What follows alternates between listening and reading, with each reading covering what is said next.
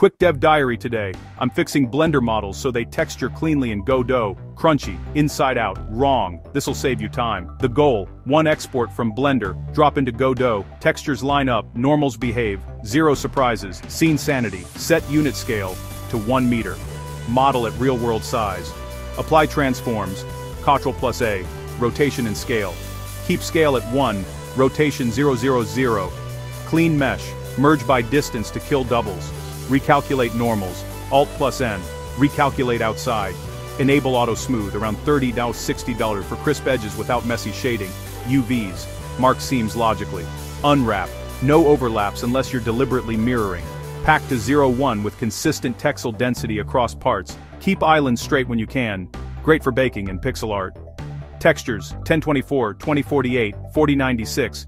Pick what the asset needs. PNG for lossless.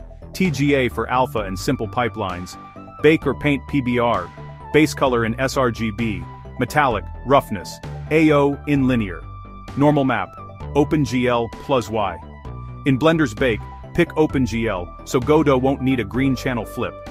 Materials, name slots clearly, body mat, glass mat. One material is the draw call target, combine where reasonable, export, file, export, GLTF, 2.0, GLB for self-contained, or GLTF with external textures. Enable apply modifiers, UVs, tangents, materials, and vertex colors if you use them. Use metallic roughness. You can pack AO roughness metallic into ORM. Godot reads it. Godot import. Drop the GLTF in.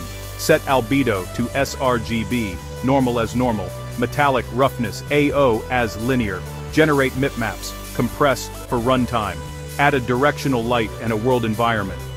Rotate the model, normals should stay consistent. If not, back to Blender, reapply transforms, recalc normals, re-export.